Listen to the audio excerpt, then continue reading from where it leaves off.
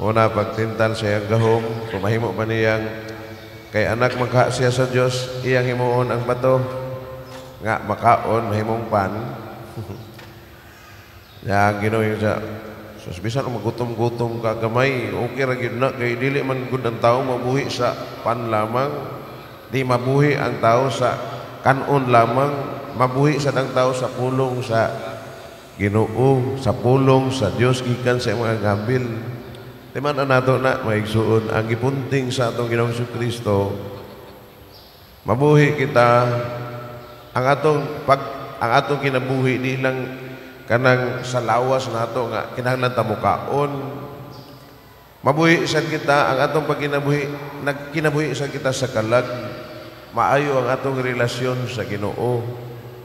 Oh ay mo nay pinaka pagtulunan ani ang kinabuhi di lang ka tungod na mukaon ta mabuhi ta kundi mukaon sa ta sa mga pulong sa Ginoo aron mabuhi ang atong kalag amen Kay pwede man gani nga tubig ray ato imnon mabuhi man gyapon ta. Snack gamay. Aron di sa maluya nga tutuhod, no? So kanang mga karbo, kanang pagkaon, carbohydrates or kanang karne pwede na kaunon. Pero kung sobra po, magkasakit man po ta. Di ba? O gamay-gamay lang. Kay Kwarisma man doon, ginagmay lang. Igo-igo makabarog ang atong tuhod. Oh? O ang pagpamalandong, pagampo, pagpamati, pagbasa sa balaang pulong, mga balaang pulong sa Dios nindot mo karon buhaton aron na mo ligon ang atong kalag mo ligon atong espiritu so mana ang una. Ikaduha nga pagtintal sa ya, kung ikaw anak sa Dios ambak ngadto sa ubos kay nagingon man ang kasunatan ang Dios magsugo sa iyang mga anghel ug pantay kanimo sapnayon kanila nga bisan kanang imong mga tiil dili mat dili ma tatsahan kung ambak ka sa may buto sa butana atong gi un, under or overestimate the power of God. His promises nga kanang nag nagsaad man Ginoo nga ati manon kita niya busa magsik mag kanabang magsugbo-sugbo lang ta? Sugbo ah sana sugbo-sugbo sa Bisaya kay di man ko Cebuano. Kanabang tira pasagad bitaw? No kay nagsalig tas Ginoo mo tira pasagad lang ta sa atong unsay atong mga tumong unsay atong mga lakang mga mga gusto buhaton adlaw-adlaw.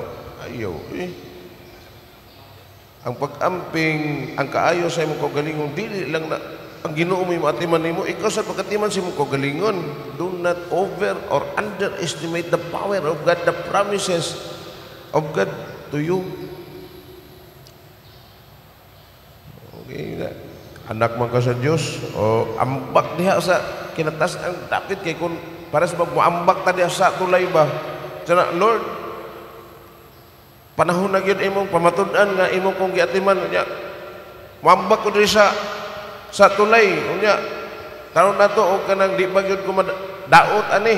Ayaw ana when you you have all the kanang kanang mahimo nimo nga naay imo bang kanang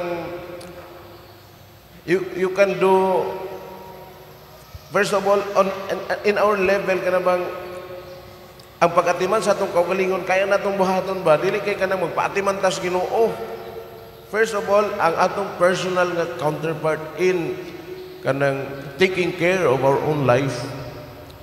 Ayaw lang iyan imo yung nagsaad mong ka Lord, suwayan ako kambak ron, tanaw na to, mabuhi ba ko? Ayaw, eh.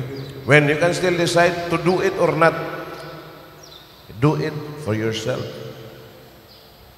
Take care of your own life. Kanabang, kanabang akong pamalando may din kay Kristo kanang kitang tanan doon na tay counterpart doon na tay kabahinan sa pag-amping sa atong kaugalingon. Dili nato isalig tanan sa uban. Unya kanang moingon ta na ato isalag sa Ginoo. Ah, sige. Okay ra pud na siya pero mo kanang ato sang sukdon pud ang Ginoo bitaw nga kanang ang Ginoo mo mag-atiman nato. When we can do it on our own sa atong level ba. So, ayaw ambak sa tulay tungod kay nagsalig ka sa Ginoo nga iya kang atimanon. Atimana usa ang imong kaugalingon. Amen. Uy hinay man og tubag. Oh, atimanon sa nato og unsay di nato kaya pag himo para sa atong kaugalingon atong isandig sa Ginoo. Pero unsay tubag sa atong Ginoo Hesus dinhi? Apa nag-ingon usab ang kasulatan, ayaw tintala ang Ginoo nga imong Dios. So ayaw siya tintala. We trust and we believe in God, the God of providence, the God of protection, that He will take care of us, but do not, do not over or underestimate His power. He can surely do it. And do not forget that we have our own counterpart in taking care of our own life. Kung ato lang pasagdan nato kaulingon, ato isubasta. Wagi may tabuan na. Pag, murag, kung God will allow us to learn a lesson from every action that we do, from every decision we make. God will allow us to learn from it. So, ang dili nato kaya atong yambo sa Ginoo that He will provide. Kanang dili maabot sa atong kapasidad sa atong kakayahan. But first of all, we ourselves we have to do it. Murag as our our our personal nga counterpart in taking care of our own life. Do not under or overestimate God. Third temptation. Gidala siya sa yawa ngadto sa usa ka taas nga bukid. Gipakita niya ang tanang kingharian. Maimo na yung tanan. Kung manuhod ka, musimba na ko. Pastilan. Ang ginoo, may tabag hawa sa tanas. Grabe naman, sobra naman ang imo ha. Simbaha, ang ginoo nga imong Diyos o siya lamang ang alagari. Ang problema nato no kung naanata sa pedestal usahay makalimot ta kang Kristo. Nya marag ma murag ma-demeanor ta ba kung kanang dili tatagdon sa mga tao. Dili ta makadungog mga appreciations gikan sa mga tao. Do not forget that you are there for God and it is God the people will worship, not yourself. Mana ang kandini nga, kanang tanong, ako no sa akong kagalingon, na ako dire sa pulpito.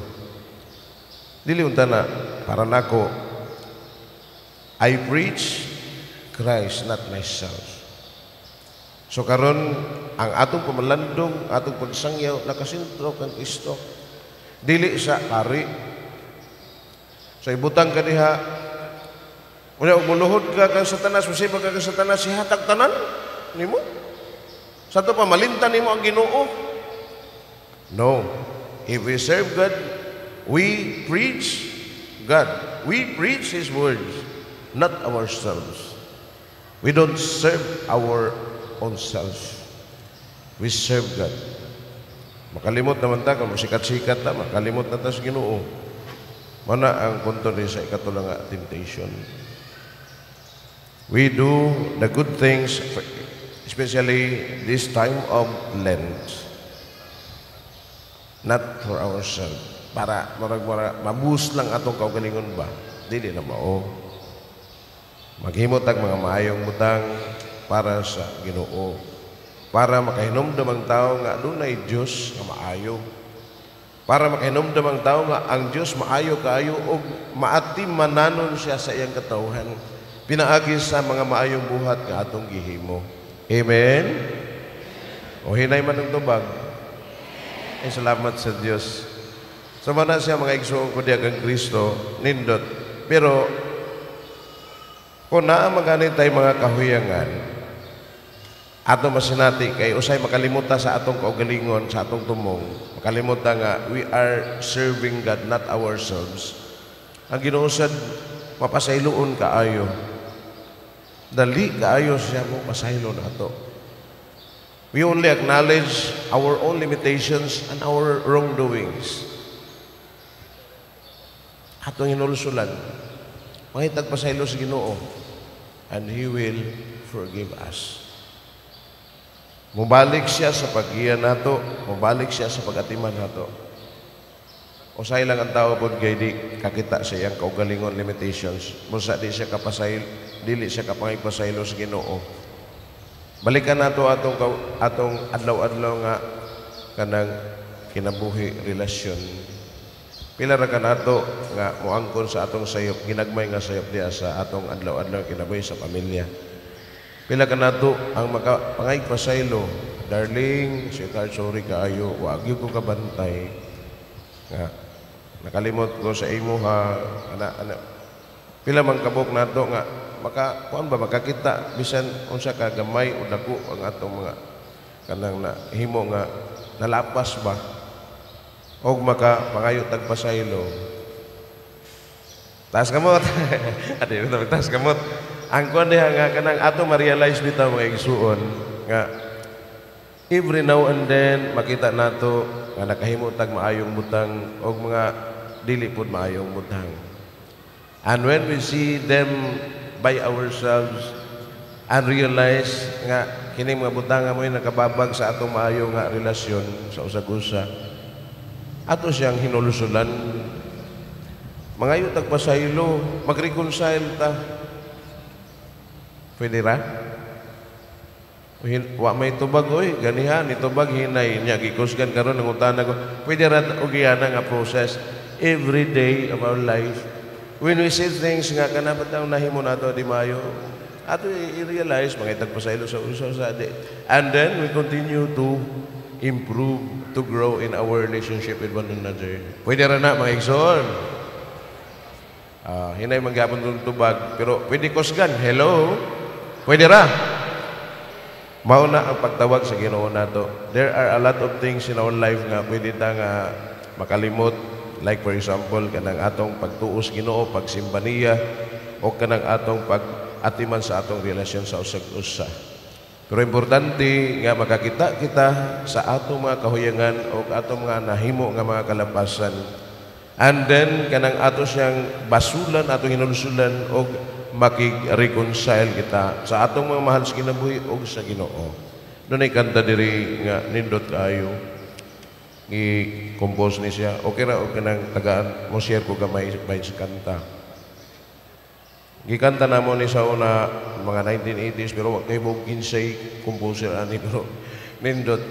God will always save us when we kanang accept, admit our own limitations And kanang atong hinulusulan atong mga nahimo nga dili will always say, I forgive.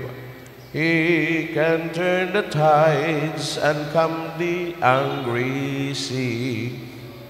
He alone decides who writes a symphony. He lights every star that makes our darkness bright. He keeps watch all through its long and lonely night. He still finds the time to hear a child's first prayer. Saint or sinner calls and always find him there. Though it makes him sad to see the way we live. Kay usay mapasagaron ta nakay mo na tag dili maayo ato lang ko anon. Muragi uh, take for granted lang nato na natay mga nasakitan. He'll always say, I forgive. I forgive. Mga yutas pa sa ilos ginoo. Tagaan yun niya. But first of all, look at ourselves in reflection, meditation, and see asa ta mga asa bitaw ta nagkulang asa ta nasayop asa ta nag uh, mga dili maayo hinulsulan og ato pa yun ang pasaylo sa Ginoo He can grant a wish or make a dream come true He can paint the clouds and turn the gray to blue. He alone knows where to find the rainbow's end.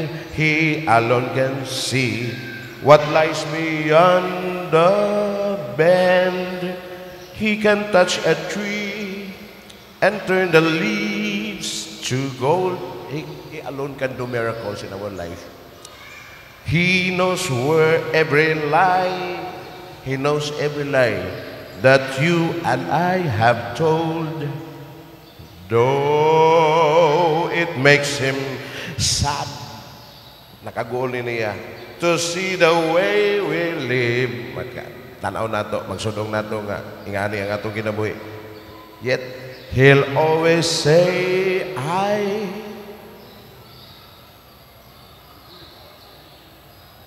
He'll always say, I.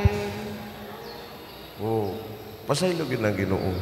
I hope and pray that we can also do the same, the same with one another. When each one of us has admits, admitted his own uh, shortcomings and seriously kanabi daw nagbasol sa makapasaylot sa usag-usa. Though it makes him sad to see the way we live, he'll always say, ni- that we forgive because God can always forgive us. We forgive each other. Amen. Palihog mo tindog ato'y padayag atong pagtuo. Nagatuo ako sa Dios